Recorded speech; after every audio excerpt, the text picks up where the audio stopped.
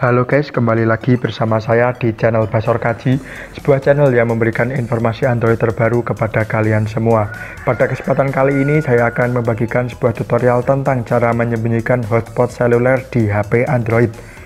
Untuk contohnya, kita bisa lihat di HP saya yang satunya, hotspot selulernya sudah saya aktifkan. Akan tetapi, di HP saya yang lainnya, Wi-Fi-nya tidak bisa mendeteksi hotspot seluler yang sudah diaktifkan tadi. Nah, dengan begini, kalian bisa menyembunyikan hotspot kalian dari teman-teman jahil yang tidak tahu trik ini. Namun, sebelum menuju ke tutorialnya, kami sarankan Anda untuk like dan share video ini terlebih dahulu.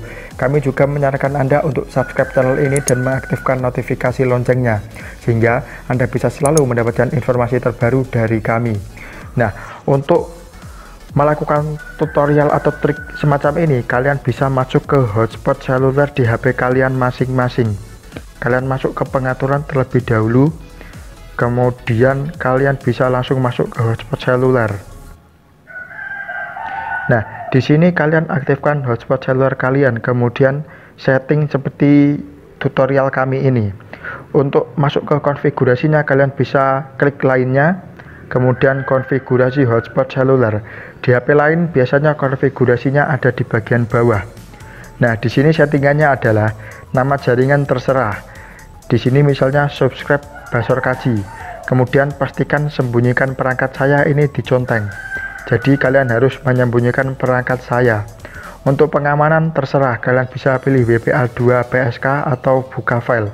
Kalau buka file itu tidak ada sandinya, sedangkan WPA2 itu ada sandinya kemudian masukkan sandi jika ada sandinya kemudian simpan. Nah di sini kan di HP yang lainnya ini wifi sudah on tapi belum memunculkan wifi yang saya aktifkan. Untuk cara menemukannya cukup gampang. Kalian tekan titik tiga yang ada di sini kemudian pilih add network. Kemudian kalian masukkan nama jaringannya. Di sini adalah subscribe basor kaji subscribe besar kaji.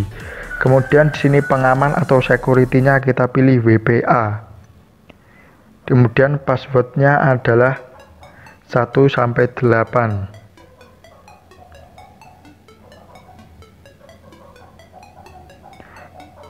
Nah, sudah betul, sudah seperti konfigurasi hotspot seluler saya. Kemudian tekan save tunggu saja prosesnya.